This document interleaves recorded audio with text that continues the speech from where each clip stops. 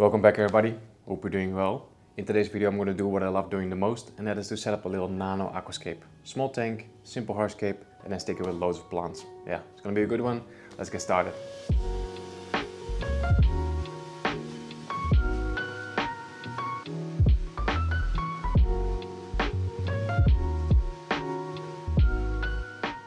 So here on top is the tank that we're going to be using today. This is a standard size 36p, so it's measuring 36 centimeters from left to right. Uh, it's 26 centimeters tall and I think it's 22 centimeters front to back. So a very small tank, holds roughly 20 liters or maybe like 5 US gallons. Now this morning I took down the previous layer that was in this tank and after cleaning it I noticed that there's quite a big scratch on the front glass panel. No idea how that happened, but obviously that's going to bother me later on. So I'm thinking to actually turn the tank around, see if the back glass panel doesn't have any scratches.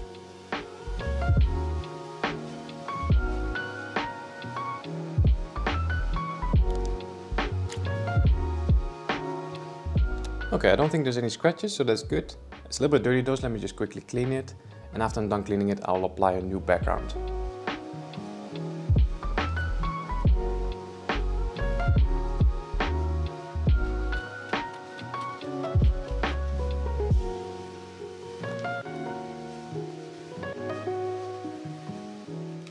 Okay, background is done. In case you're wondering what I'm using for the background, it's basically this self-adhesive glass foil.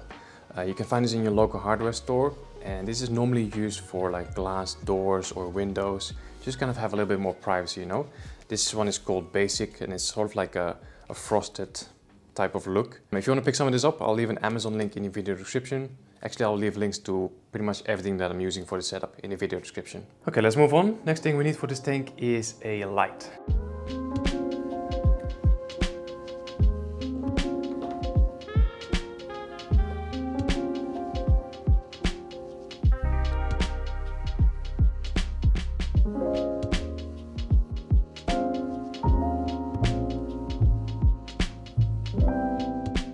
Here we go, this looks really good. So this is a Chihiros C2, quite a popular light, it's been around for a few years already, but uh, yeah, I really like it. I think it's a perfect light for this size aquarium.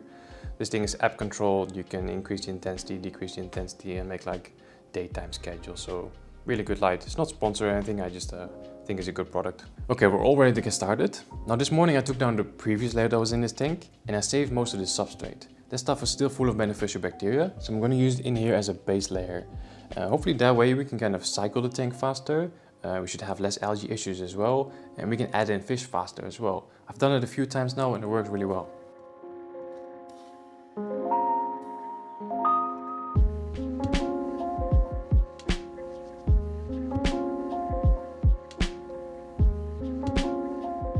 Okay, that's the first substrate layer in. You might have noticed that there's still a bunch of plant roots and stuff in there. It's no big deal. Those will eventually decompose and actually be turned into nutrients. Now before we move on with the rest of the substrate, I want to start with the hardscape. Uh, last week I was visiting one of my favorite shops and they had a beautiful hardscape selection and I brought home this amazing piece of black spider wood. It's actually called scaper wood. It's a product from Sera I think. I'll leave a link in the video description. Really nice piece of wood. Want to use this as the main piece and then I also brought home a few of these small pebbles. So I think this will be a really nice natural combination. So yeah, that's going to be the hardscape materials.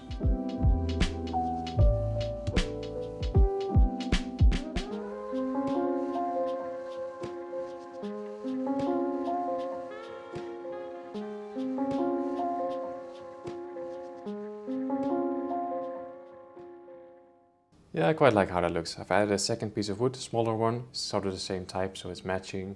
And then I think we can go for triangular style. I feel like I've been doing a lot of triangular style compositions lately, but I just absolutely love them. So we can have tall plants in the back, um, lower in front. I'm thinking here in front have like a little sand beachy area as well. This I'll probably still fill in with soil, but yeah, over here we can have like a little sand area. Now before we move on to the next step, I just want to quickly secure the hardscape. So I'm going to glue the pieces of wood to the pebbles and I'm thinking to also glue the, some of the pebbles together, just to make sure that everything's like solid and nothing is going to start shifting when we're doing maintenance. Because it's quite a small tank and if you need to move around with your hands, like it's easily it's easy to bump into something and knock things over. So I'm just going to glue everything together, of course, as always with liquid type super glue and cotton pads.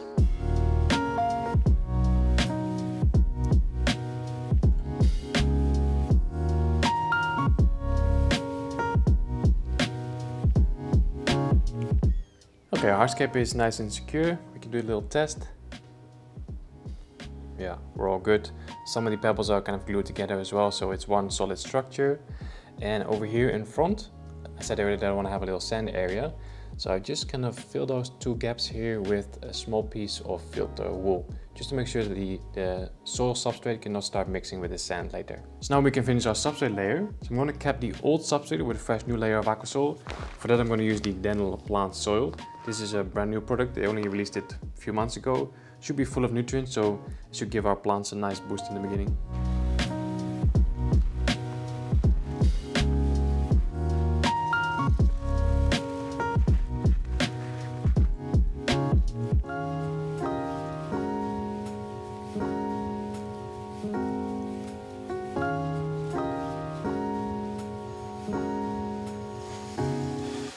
Okay, that's the aquasoil done. Really happy with that. I think it looks good. Now to add a little bit more detail, I'm going to add some small gravel around the, uh, the pebbles.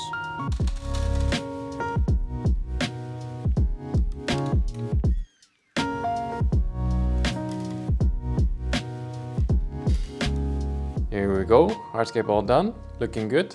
I'm going to add a little bit of sand in this front right corner here, but I'll probably do that after planting. Uh, during planting you always spill some soil granules all over the place.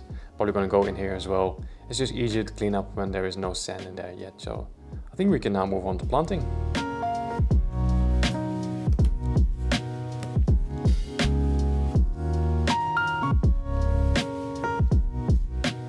Okay, got a pretty cool plant selection. I have four different types of stem plants, some green, some orange, some pink, and then I have the beautiful crypt flamingo, also pink color. I have some Bucephalandra, some crypt parva, and then two different types of moss. So it should look pretty good.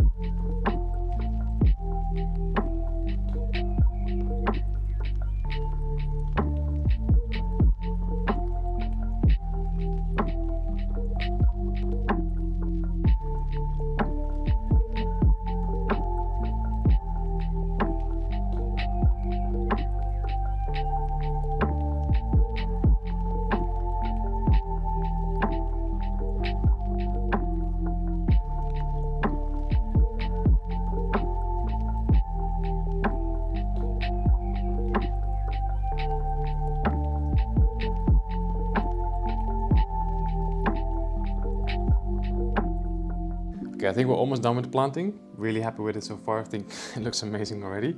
There's one more plant that I want to add, and that is this one right here. This is called Hydrocleys nymphoides. Yeah, this is a bit of an experiment. It might just get way too big for this small tank, but um, lately I'm just a little bit obsessed with lilies and nymphaeas and yeah, I just want to put one in every aquarium. So I'm going to try it out here as well. If it doesn't work out, we can just take it out.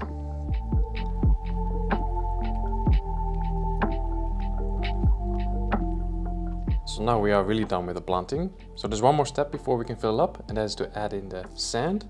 So over here I have a little bit of ADA Colorado sand. So this has like a reddish tone to it.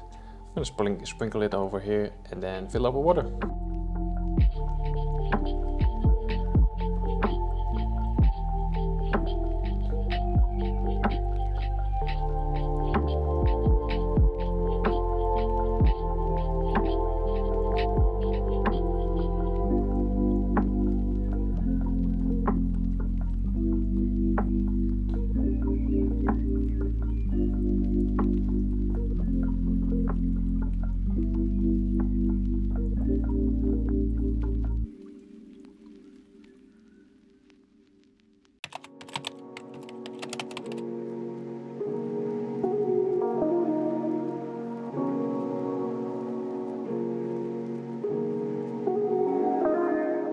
It has now been just over a month since I set up this tank and it's doing really good.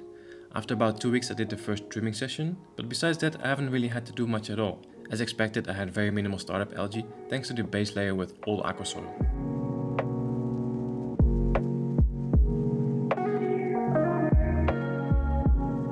I have slowly been adding some inhabitants, starting with two otocinclus, a few days later a couple Nerite snails, and last week I added a small group of red cherry shrimp.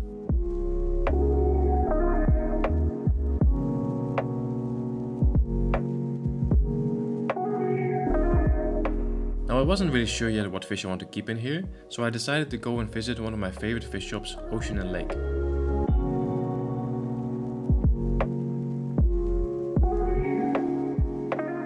They had a really nice collection of bettas, with mostly half moons, but I really like this one which is called a Koi Galaxy, and he is coming home with us.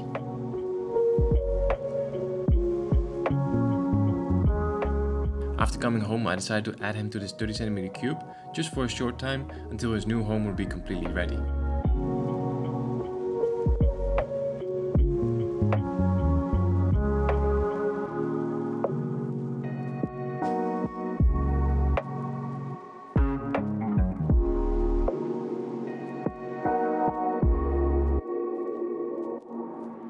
Here I have a few sparkling gouramis, so I was curious to see how they would all get along, but they've been absolutely fine.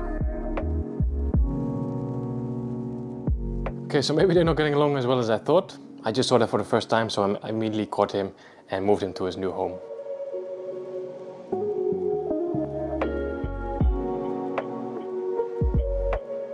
I think the sparkling gouramis were attacking him because they're getting ready to breed.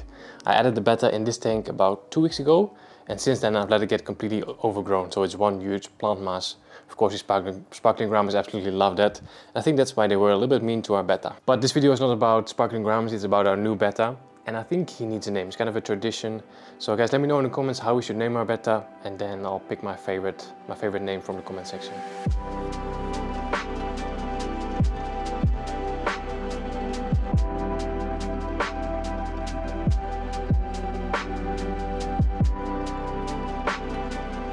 Now bettas can jump and I don't have a lid for this tank, so after I'm done making this video I'm going to lower the water level just slightly, just to be safe, but for now I'll keep it like this just because it looks good on camera.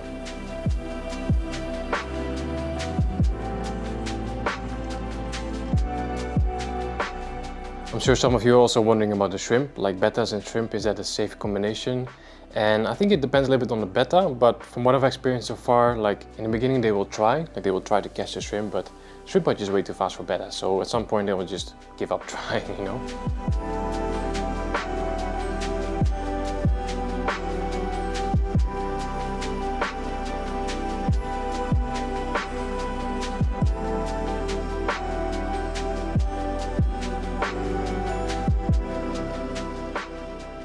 really happy with the end result. Hope you guys like it as well. Hope you enjoyed the video. As always, don't forget to smash the like button. See you guys next time.